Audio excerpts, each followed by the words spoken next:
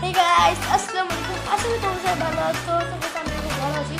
তো গাইস আজকে আমাদের মিনি ব্লগ আপলোড হবে। আমাদের শুট সবে একটা শুট বাকি ছিল আজকে এটা করে ফেলছি। এডিটও শেষ। এডিটও শেষ।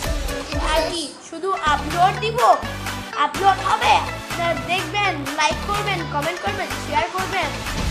ওয়েট ওয়েট আমাদের কমেন্ট অফ কমেন্ট করা সম্ভব না। তারা আপনারা যে ভিডিওটা দেখিয়ে আসেন আগে।